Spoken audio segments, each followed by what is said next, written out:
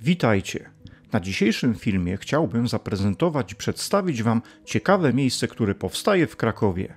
Jest nim Park Rzeczny imienia Tetmajera, który znajduje się przy ulicy Tetmajera w Bronowicach.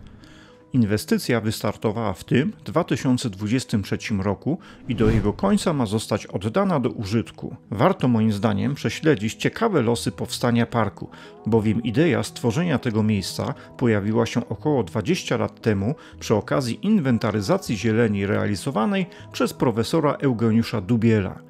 Po wielu latach pomysł powrócił z inicjatywy mieszkańców Bronowic, aby ostatecznie wejść w fazę realizacji w 2023 roku. Pani Marta Druszkowska, radna dzielnicy Bronowice, która od początku bardzo zaangażowała się w projekt powstania parku, stara się doprowadzić inwestycję do finału. 9 lat starań oraz szukania dofinansowania. Pani Marta opowiada, że z części ambitnych planów, które m.in. zakładały powstanie w zabytkowym schronie amunicyjnym znajdującym się przy ulicy Tetmajera galerii wystawienniczej, niestety musiano zrezygnować również z budowy jednej kładki oraz fragmentu ścieżki rekreacyjnej. Część gruntów przewidzianych pod park należy bowiem do pobliskiej parafii. Jest chęć współpracy, natomiast mnożą się zawiłości prawno-techniczne.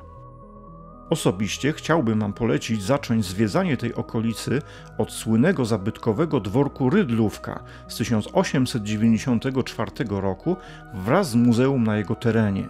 To tutaj w 1900 roku odbyło się wesele poety Lucjana Rydla z Jadwigą Mikołajczykówną. Wydarzenie to opisał Stanisław Wyspiański w swoim dramacie Wesele. Obok Rydlówki znajduje się Tetmajerówka – zachowaną pracownią Włodzimierza Tetmajera, dostępna niestety do zwiedzania wyłącznie w pierwszy weekend września przy okazji święta ulicy Tetmajera. Po zwiedzeniu Rydlówki udajcie się pieszo w stronę parku Tetmajera.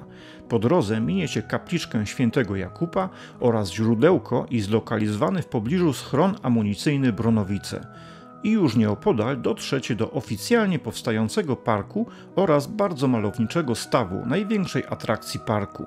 Całość koncepcji zakłada naturalny, nie ingerujący zanadto w naturę charakter parku. Park swój początek miał mieć pierwotnie na wysokości parkingu i słynnej rydlówki, prowadząc wzdłuż rzeki Struga Bronowicka, która na odcinku około jednego kilometra meandruje lasem, mając swój początek przy stawie Pasternik. Niestety, o ten odcinek pani Marta będzie musiała jeszcze powalczyć. Być może powstanie on w przyszłości. Co istotne, warto nadmienić, że staw, który do tej pory był dzierżawiony przez Polski Związek Wędkarski, zostanie udostępniony dla zwiedzających. Nie obyło się tutaj bez lekkich perturbacji, ale mam nadzieję, że ostatecznie i wędkarze, i zwiedzający będą w stanie wspólnie cieszyć się tym miejscem. Cała inwestycja obejmuje zagospodarowanie terenu pod park, przygotowanie infrastruktury służącej do wypoczynku, pojawią się ławki, powstanie siłownia zewnętrzna, huśtawki.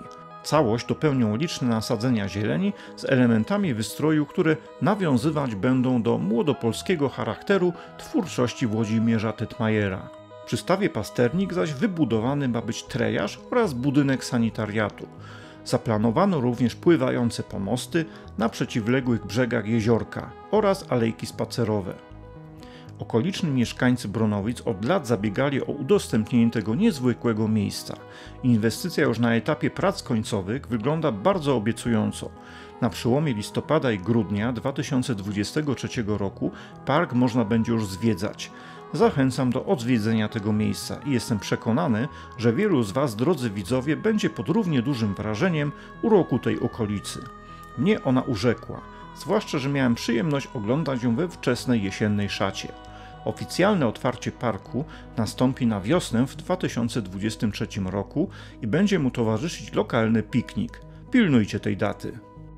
Podsumowując, wartość inwestycji to troszkę ponad 6 milionów złotych, z czego 5 milionów pochodzi z Rządowego Funduszu Polski Ład. Pozostałe środki to wkład miasta oraz Bronowic. Na koniec tradycyjnie dziękuję naszym patronom. Zachęcam do subskrypcji oraz pomocy w rozwoju kanału przez polecenie naszych filmów Waszym znajomym. Do zobaczenia.